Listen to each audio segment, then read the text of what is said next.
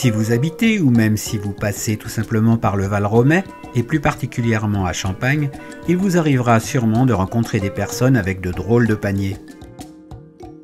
En effet, tous les mardis à partir de 17h30, la MAP Terrain d'Entente ouvre son local de distribution à ses adhérents. Eh bien, nous avons donc des fiches qui correspondent à chaque, euh, chaque adhérent. Et quand ils viennent, euh, bien, on le- avec notre fiche, on fait un petit peu le tour euh, de nos produits, on met dans les paniers, puis on leur donne. Donc, vous avez un grand panier, du fromage, du pain. Aujourd'hui, c'est plus de 70 familles adhérentes qui s'approvisionnent chaque semaine à la MAP de Champagne en Val Romais. Merci. Je suis venue chercher mon panier habituel, comme tous les mardis. Donc un petit panier de légumes, des œufs, du fromage et le pain. Il y a un choix assez considérable de produits euh, qui s'est rajouté petit à petit, alors qu'au début on avait euh, uniquement euh, les légumes, hein. mais petit à petit sont rajoutés le pain, le miel, le fromage, etc. quoi. Et à la viande. Ça qui est intéressant. On pourrait éventuellement se nourrir uniquement avec ce que produit la MAP, ce qui est quand même assez sympathique. Je suis née à la campagne, donc euh, toute mon enfance j'ai vécu avec euh, le vrai goût des légumes et j'ai retrouvé ça ici. Supermarché, ça nous gavait. Enfin, on en avait ras-le-bol. Puis euh, système de consommation euh, pur et dur, on en avait ras-le-bol. Puis là, on réalise qu'on fait des économies. Enfin, c'est super. C'est des produits frais, de saison. J'y trouve surtout des légumes qui ont un goût extraordinaire. Probablement par le fait que c'est un circuit court. Adhérer à la MAP Terrain d'Entente, c'est établir un véritable partenariat entre consommateurs et producteurs dans un esprit de confiance mutuelle. En effet, le coût des paniers est collecté et versé en début d'année aux producteurs, leur garantissant ainsi un préfinancement de leurs coûts de production. Alors aujourd'hui, on a de la courgette, du concombre, du fenouil, on a des haricots verts également. Voilà les produits de saison. On produit 250 kg de pain par semaine, on en livre au moins 60, euh, 60-70 ici. Ça nous remplit notre jour de production euh, du mardi. Quoi. productrice de miel et donc je livre euh, à la MAP et je fais des produits dérivés à base de miel.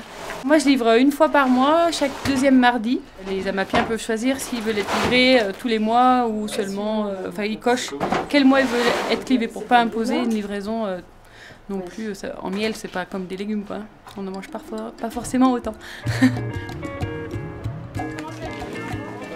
Si la MAP Terrain d'Entente suscite un tel engouement aujourd'hui, c'est que depuis 10 ans, elle a su s'implanter sur le territoire du Val Romais.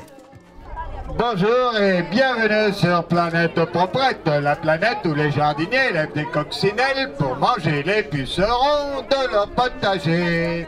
Aujourd'hui, voilà, on fête euh, les 10 ans de la map de Champagne, la map terrain d'entente. Donc il y a 10 ans, bah, il y avait euh, quelques personnes soucieuses de, favoriser la- l'agriculture en, circuit court. L'objectif du groupe, c'était vraiment de pouvoir, en tant que consommateur, être euh, acteur du développement d'une agriculture familiale à taille humaine et puis euh, soucieuse de, de l'environnement en fait. Voilà. En tant que consommateur, on a un rôle à jouer et c'était vraiment ce rôle-là qu'on qu'on revendiquait voilà, au niveau de l'association. Et tu fais quoi là? Bah j'allais manger une fraise. Tu fais quoi là? Bah j'allais manger une fraise. Tu manges une fraise? Bah oui. On est au mois de décembre et tu manges une fraise. Tu crois que ça fait quoi ça? Bah ça fait plaisir. tu crois que ça fait plaisir? Tu t'es mis à la place de la fraise toi? Tu, crois qu'elle a quoi comme cette fraise? Donc l'objectif, bon, ça a d'abord été d'accompagner euh, l'installation de Cyril et Jonathan dans une ferme de maraîchage à 30 km d'ici. Et puis petit à petit, avec d'autres produits, eh ben, encourager ou euh, euh, aider d'autres agriculteurs à lancer leur activité ou à consolider leur activité déjà existante pour vraiment créer une sorte de, de réseau à la fois de consommateurs, de producteurs locaux, euh, de faire en sorte que tous ces gens se rencontrent, se connaissent un peu mieux. Et puis je pense que l'association, à son niveau, comme euh, avec d'autres associations, elle contribue au développement du territoire par le fait qu'elle encourage aussi des agriculteurs à, venir s'installer ici. Euh, et puis parce que c'est un atout pour des gens qui auraient envie de s'installer à la campagne aussi, de, de voir un réseau associatif dynamique, vivant, qui propose des activités, des fêtes, voilà, des temps convivi- conviviaux.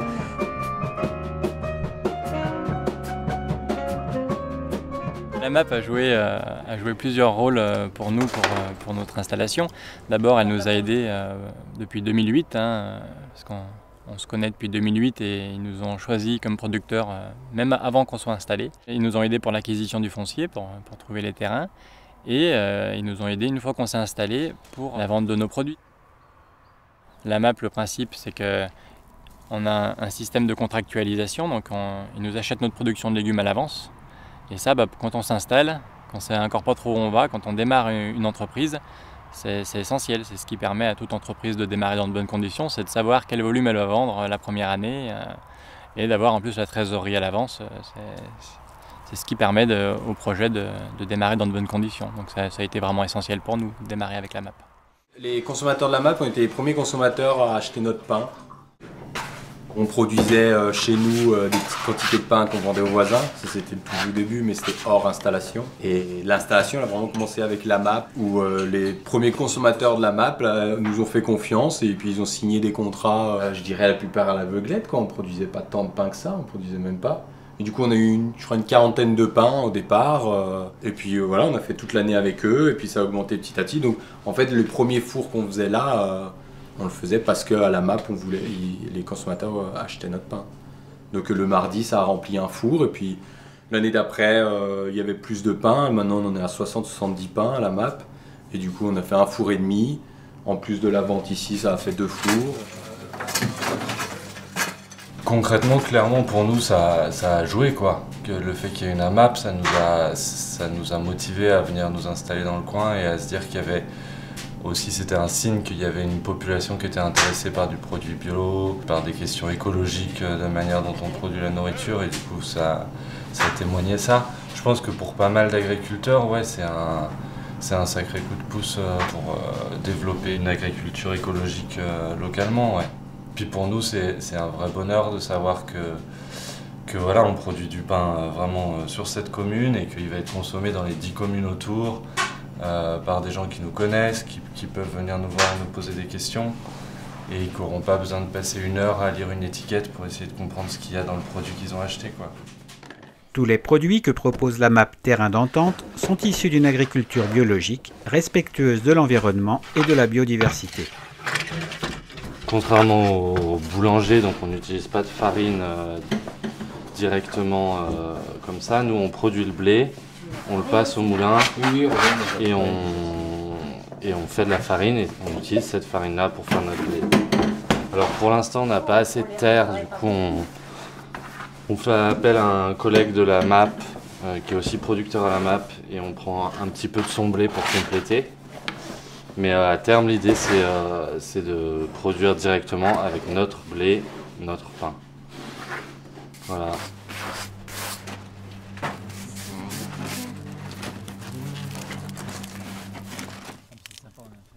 Qui nous a motivés à travailler en agriculture biologique, c'est avant tout euh, notre parcours professionnel, euh, notre parcours, on va dire, euh, d'études avec mon associé. Simplement, on est issu du milieu de l'environnement, on a fait des études dans la protection de la nature. Et en travaillant au quotidien avec des associations de protection de l'environnement, on s'est rendu compte que c'était les agriculteurs qui avaient le plus gros poids dans la gestion des milieux, dans la gestion des paysages et dans la gestion des espèces et de la biodiversité finalement. Donc on s'est dit bah, pourquoi pas euh, se lancer dans l'agriculture. Nous on est plus qu'en agriculture biologique, on a en agroécologie.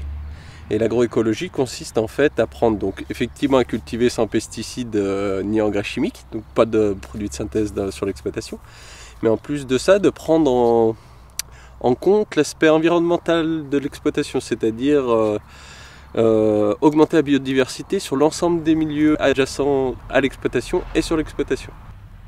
On a des haies, on a des murets de pierre, on a des mares. C'est autant d'aménagements où on a des insectes qui vont venir, euh, qui vont sortir de ces aménagements-là et qui vont venir réguler. Euh, par exemple, les, murets de pierre, il y a des coccinelles à l'intérieur qui vont venir manger les pucerons.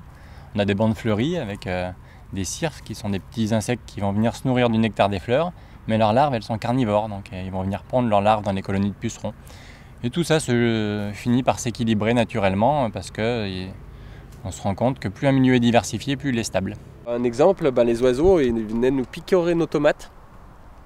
La première année, on était à merde, hein, qu'est-ce qu'on va faire avec ces tomates euh, On ne sait pas comment on va faire et tout. En fait, on a créé une mare. Et du jour au lendemain qu'on a créé une mare, on n'a plus de problème d'oiseaux. En fait, on s'est aperçu que les oiseaux, ils venaient boire, parce qu'il n'y avait plus d'eau de milieu de points stagnants justement pour qu'ils puissent boire. Ils venaient boire en mangeant nos tomates. Et depuis qu'on a fait ça, bah, ils viennent boire dans la mare. Donc voilà, c'est assez rigolo cette affaire. L'agronomie est aussi un, point très très très important de l'exploitation parce que sans agronomie il n'y a pas de production. Donc il faut vraiment faire attention à nos terres, donc on fait on laboure plus, on fait des travaux de surface, on apporte énormément de matière organique pour que ça puisse euh, donner vie et des différentes pour qu'il y ait un maximum de vie différente dans la terre. Et plus la terre c'est comme un humain. Plus elle mange diversifié, moins elle est malade. Souvent nous dit en bio, vous faites des petits légumes, est-ce que vous arriverez à nourrir la planète Il y a pas mal de légumes où on n'arrive pas à les vendre parce qu'ils sont trop gros là, je sais pas. à mon avis, c'est pas le bon argument. Mais en termes de diversité, on a 45 légumes différents sur la ferme. En comptant les différentes salades, euh, ça fait euh, pas mal de, choses. Après, euh, chaque saison est, différente. On a, on a, tendance souvent à croire que l'hiver il y a moins de choses, mais finalement il y a la même diversité en fait en hiver qu'en été à peu près. Voilà, c'est juste pas les mêmes légumes. On fait des fruits aussi, donc euh, on s'ennuie pas. Euh, en termes de fruits, on a une dizaine d'espèces différentes. Avec la map, on essaye d'avoir euh, au moins une, visite par an. Alors c'est des visites maintenant qui tournent un peu sur les, sur les différentes exploitations, mais le principe c'est que la ferme soit, soit transparente. c'est ce qui est recherché, je pense, par les consommateurs, hein, c'est de savoir comment est produit le légume, de connaître euh, les personnes qui produisent. C'est essentiel aujourd'hui quand on voit la façon, euh, à quel point c'est impersonnel quand on va en grande surface euh, ou, même sur le marché. Hein, les revendeurs vendent des légumes, bon, c'est très difficile de savoir exactement d'où ils viennent et encore plus comment ils ont été produits. Donc là, c'est essentiel nous, de pouvoir montrer autre chose, de montrer comment c'est produit, de montrer les valeurs avec lesquelles c'est produit sur la ferme. Ici à Munet, je suis installée depuis 2008. Je fais fromage de chèvre. Au début, je faisais fromage de chèvre et fromage de brebis. Mais je fais le métier euh, d'agricultrice euh, fromagère depuis plus de 30 ans. Les chèvres, c'est très très attachant. Euh, quand on rentre le matin, elles nous regardent. Il y a une relation qui est très proche. Si nous on va pas, les animaux vont pas. Si nous on va bien, euh, c'est la première condition pour que les animaux aillent bien aussi. Euh, si j'ai choisi ça, c'est que c'est une passion, c'est clair.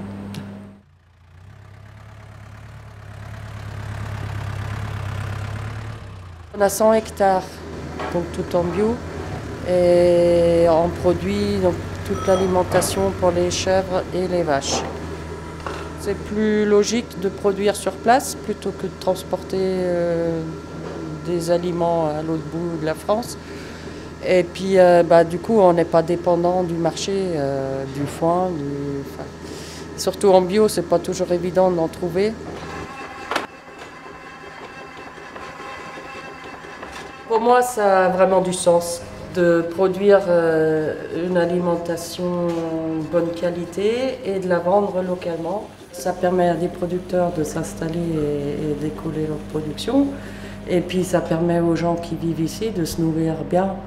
Ils n'ont pas besoin de courir à Lyon ou à Chambéry pour trouver des produits bio. Euh, Ils trouvent sur place et, à, bon prix en plus. Donc ça c'est ces fameux galets d'Arvière.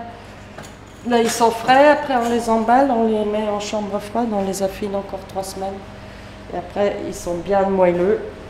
Là, c'est donc les petits fromages de chèvre qui s'affinent, qui passent du frais au mi-sec puis au presque sec. Et ici, on affine les tomes. Là, c'est les tomes de vache. Et ça, c'est les tsaverons. Donc là, on les lave euh, trois fois par semaine, on les retourne. Euh, là, il y a pas mal de travail de cave aussi. C'est quand même une vente euh, hyper pratique pour les producteurs, hein, la vente à la map. Comme euh, les volumes, on les connaît d'avance, bah, on sait ce qui sera vendu euh, Après, bon, si ça, ça pouvait représenter un peu plus, ce serait encore mieux. La plupart des personnes, en fait, ils, prennent un peu tout. Et du coup, j'essaye de varier, de leur mettre euh, un coup du sec, un coup du mi-sec. euh.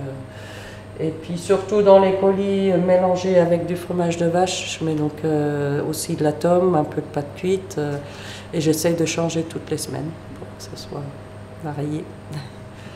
Moi, je me suis installée ici avec des chefs des brebis. C'est sûr que euh, les Valromaisans et surtout les autres agriculteurs, ils étaient sceptiques. Et puis ils ont vu que ça marche, que j'en vis, que j'ai une exploitation qui est plutôt bien tenue. Euh, et, je pense que ça a quand même beaucoup aidé à, à changer les mentalités dans le coin.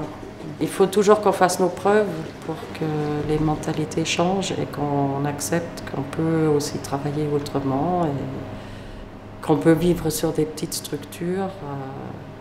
C'est toujours pas vraiment admis. La profession agricole est toujours sceptique, malgré tout. Malgré que ça fait quand même 30-40 ans qu'il y a des gens qui font ça et qui y arrivent. hein. Après, il y en a qui n'y arrivent pas, mais ça, en conventionnel, c'est pareil. hein. Il y en a qui y arrivent et il y en a qui n'y arrivent pas. On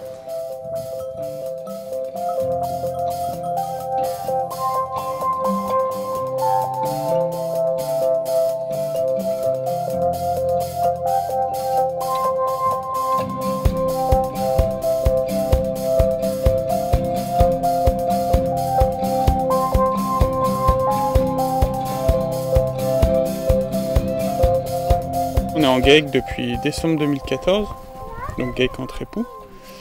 Et, euh, et donc on a démarré cette structure avec euh, donc euh, 250 brebis de race Hampshire et 30 vaches allaitantes de race Aubrac. On a un effectif d'animaux moyen, ni trop ni trop peu. On arrive à gérer ça euh, dans l'organisation de travail, dans le temps et sur l'année quoi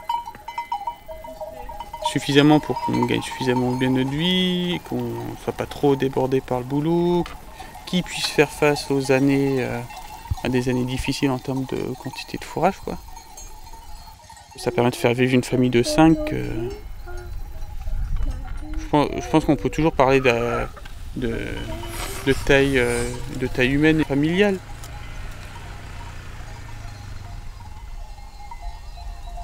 Donc euh, au début c'est moi qui me suis installé je voulais m'installer euh, pas, pas là où c'est plat. Et donc ici ça me paraissait bien parce que ça. C'était. euh, on est à 800 mètres d'altitude en moyenne. Donc on était à la montagne, mais pas trop, ce qui permettait toujours de faire du plein air intégral parce que mon truc c'est. Les bâtiments, le matériel, c'est pas mon truc. Et, et puis bah, il y avait cette fameuse grande parcelle là où c'est que qui se prêtait bien pour accueillir un troupeau suffisamment grand pour qu'on puisse en vivre quoi. Et en plein air intégral quoi. Les aubracs, euh, on a choisi cette race parce que bah, je trouve qu'une race qui a les couleurs des cornes et des cloches dans la montagne, c'est autre chose que- qu'une vache sans couleur à qui on a coupé les cornes, qui est bloqué un cornadier et qui mange de l'ensilage de maïs. quoi. C'est vraiment l'opposé. quoi. Moi, je voulais pas de ça. Je voulais un truc qui se rapproche plus de ça. quoi. Le fait de nourrir le troupeau comme ça avec de l'herbe pâturelle, c'est la meilleure des garanties pour que- qu'elle soit en bonne santé, donc pas de problème, donc pas de perte. Ça assure une production minimum. On peut toujours mieux faire en complémentant, mais euh, vu ce que ça coûterait et, ce qu'on en dégagerait, euh, à la fin, il n'y aura pas grand intérêt, je pense. Elles ne mangent que de l'herbe à la belle saison, puis après l'hiver, elles ont du foin et de l'enrubanage. Et un peu de complément pour les veaux euh, pour euh, compenser un peu les pertes d'énergie quand c'est l'hiver, quoi, parce qu'ils sont dehors. Et voilà.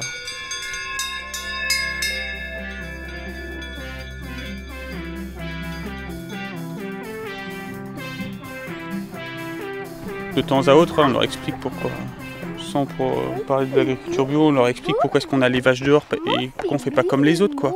On leur explique hein, que pour leur santé c'est mieux, que,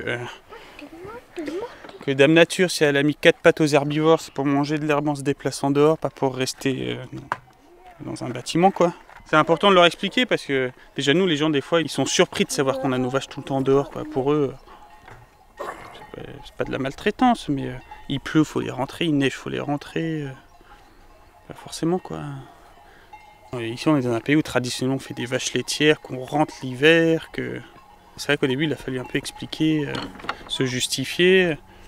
Et voilà, maintenant ils voient bien que ça pose pas de problème.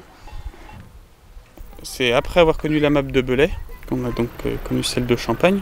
C'était au moment où on s'installait, euh, eux ils avaient encore pas de producteurs de viande bovine quoi. Donc c'est comme ça qu'on les a connus. En plus les maraîchers avec qui ils travaillent, nous on les connaissait déjà aussi. Ils travaillaient aussi avec la map de Belay. Donc euh, il y avait déjà un petit réseau entre producteurs qui, était existant quoi déjà. Donc je veux dire ça a marché tout de suite quoi. Ça, a collé tout de suite quoi, leurs attentes, les nôtres. euh, C'était naturel quoi, que ça se fasse. Euh, L'avantage, c'est que de faire la vente directe avec une AMAP, c'est que ben, on va passer par une seule personne qui est le référent là, qui lui s'occupe de, collecter les contrats, les chèques. Comme ça, nous, quand on a vraiment la distribution, c'est déjà tout réglé. Quoi. Le référent, il connaît les personnes euh, que nous, on ne connaît pas forcément tout. Et euh, donc pour, les, pour distribuer les colis, c'est plus sûr, quoi. ça va plus vite, il n'y a, pas de- y a pas de problème. quoi. Impeccable, merci, Merci, beaucoup. merci à vous. C'est vachement encourageant aussi quoi, quand on distribue les colis, que les gens nous disent que c'était bon, qu'ils sont contents, qu'ils trouvent ça bien de faire du mieux, qu'ils trouvent ça bien euh, ce qu'on fait. Mm. Bah, c'est encourageant quoi, psychologiquement c'est important aussi quoi. C'est vrai, ça compte ça. Encore plus quand on s'installe, qu'on doute.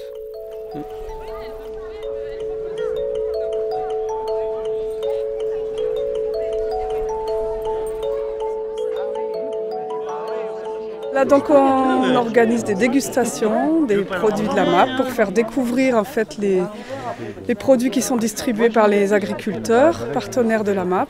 Donc euh, aujourd'hui il y a du vin, il y a de du fromage, du pain. Oui, ça c'est Pyramion, Tom, ça Aveyron, Galet d'Arbière. Voilà, tout. Ça permet de faire connaître un petit peu parce qu'on a fait des, des contrats avec certaines personnes qui connaissaient peut-être les vins, mais il y a beaucoup de gens qui, qui hésitent à prendre parce qu'ils ne connaissent pas. Donc une dégustation, ça va permettre de faire découvrir. un peu de rouge. Allez. Euh, le vin, ça se goûte. Ça se goûte et ça se boit quand même. bah oui, mais avant de le boire, j'aime bien le goûter. L'idée c'est parce que les, adhérents qui sont par exemple déjà abonnés à des légumes et qui osent peut-être pas euh, se lancer dans un abonnement pour d'autres produits, ben voilà, c'est l'occasion qu'ils goûtent euh, parce que s'en- s'engager sur un abonnement sur un an sur, euh, pour le pain, c'est sûr qu'il faut que le pain nous plaise. Quoi. Et c'est l'occasion aussi peut-être pour des, des personnes euh, extérieures de découvrir euh, voilà, qu'il y a ces produits-là euh, ici euh, à la MAP. Nous, on est adhérents depuis, depuis quoi Deux mois Un mois? Donc c'est tout nouveau. La première fois qu'on est venu ici, il y avait aussi des petites dégustations, quelqu'un qui avait amené une bouteille. La semaine suivante, il y avait un petit apéro. Donc c'est vrai qu'en été, euh, c'est assez festif. Ça fait découvrir les produits, c'est sympa. Bah, c'est convivial. Bon concept, je Bon pense. concept, ouais. L'organisation, le fonctionnement, la gestion de l'association Terrain d'entente repose sur ses adhérents. Le principe des paniers bonifiés là, sur la période d'été, c'est plutôt bien. Et puis les gens, voilà, du coup, il y avait des gros paniers et plein de choses, c'est aussi sympa. C'est un véritable engagement bénévole qui participe à une nouvelle économie solidaire. Quand on devient adhérent, on s'engage à, ben, à mettre la main à la pâte, notamment aux distributions, euh, le mardi soir. On s'engage aussi, ben, certaines fois il y a des travaux à effectuer, notamment il y a eu pas mal de travaux au niveau des locaux là. Euh, il y a des, des- chantiers organisés au niveau des fermes, au niveau des, des producteurs aussi, euh, qui font appel euh, aux adhérents. Ça veut aussi dire essayer de s'investir un petit peu dans l'association, être présent à côté des producteurs, participer un petit peu aux animations qu'ils proposent, au temps festif quand il y a temps festif.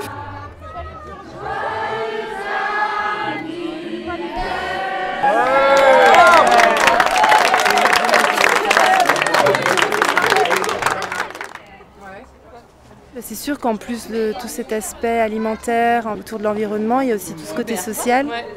Du coup, on se rend compte, on apprend à se connaître, on discute. euh, C'est agréable aussi quand on arrive quelque part. C'est euh, quand même un- des liens privilégiés, euh, de confiance.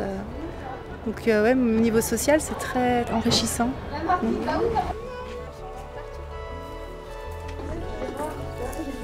C'est ça qu'il faut manger. Oh non, mais c'est sûr, hein, c'est incomparable, quoi. Et puis, et puis, écologiquement parlant, quoi. Là, là, là, on comprend pourquoi on le fait, quoi. C'est vraiment, c'est efficace, c'est efficace. là, on est efficace pour protéger euh, nous-mêmes, la planète, enfin, tout ça, quoi. Et les enfants.